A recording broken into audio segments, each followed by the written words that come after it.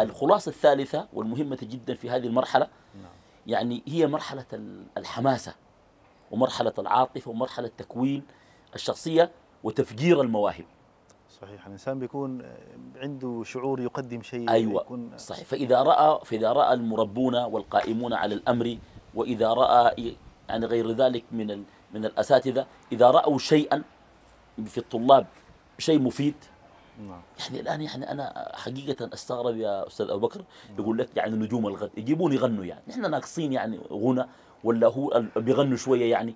يعني نعم. يقول لك نجوم الغد والموهبة. صحيح. نحن نتكلم عن المواهب التي تفيد الأمة حقيقة يعني. وبعدين ولكن- هم يجتروا على يعني أطفال حقيقه آه صحيح. صحيح. فبالتالي يعني هذه خلاصات نعم. يعني خرجت بها من المرحلة ال- المتوسطة. طيبة لحياة طيبة.